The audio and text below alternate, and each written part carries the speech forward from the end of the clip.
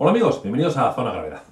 Bueno, hoy vamos a hablar del efecto suelo, del cual hemos introducido en el capítulo anterior. Eh, el efecto suelo ya hemos dicho que es aquel que se produce cuando tú pones un alerón muy cerca del suelo, un alerón, un ala, eh, su sustentación o su carga aerodinámica se modifica, aumenta mucho cuando está muy cerca del suelo. De hecho, el efecto suelo se descubrió en la aviación eh, en la Segunda Guerra Mundial, cuando los, los, vuelos militares iban muy, muy, muy cerca del suelo, los pilotos comentaban que lograban más sustentación del avión eh, cuando estaban muy, volando muy rasos, y era por eso, porque el aire quedaba un poco aplastado entre el ala y, el suelo.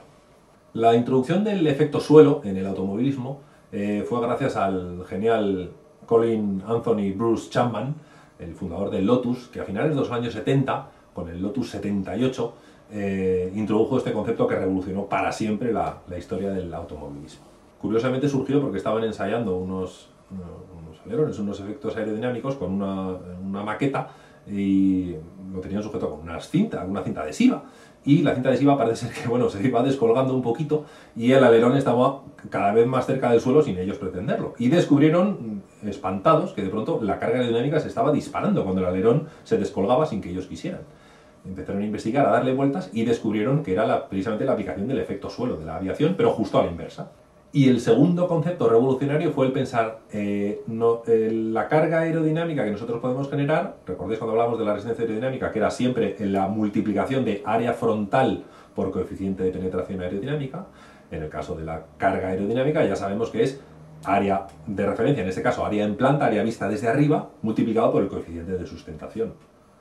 Eh, si nosotros hacemos un alerón, imagínate un alerón para nuestro vehículo, pues que tenga, no sé, eh, igual que las ruedas, 80 centímetros de anchura o 90 centímetros de anchura, con una longitud de, no sé, de 40 centímetros, eh, claro, tenemos un área determinada muy pequeñita. ¿Cuál sería el área más grande que nosotros podríamos emplear para construir un alerón? Toda la planta del vehículo. Es decir, no, lo que vamos a hacer es diseñar el suelo del vehículo en forma de ala de avión invertida de tal manera que en la parte delantera coja el aire, lo vaya estrangulando contra el suelo,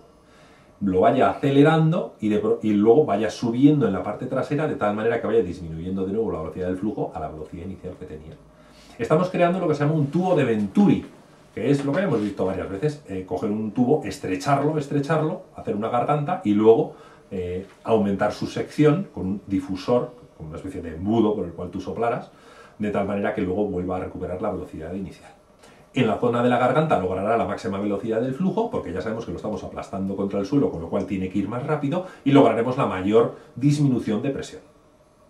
En el caso de los coches, como ellos tienen elementos mecánicos, el motor, la caja de cambios, la transmisión, la ponen en la parte central, necesitan una parte plana justo en el centro para todos estos elementos y lo que hacen es dos túneles paralelos, los, los túneles, los Venturis, que habrás oído hablar de ellos. Nosotros en los deportes de inercia, como no tenemos transmisión, podríamos contar con todo el,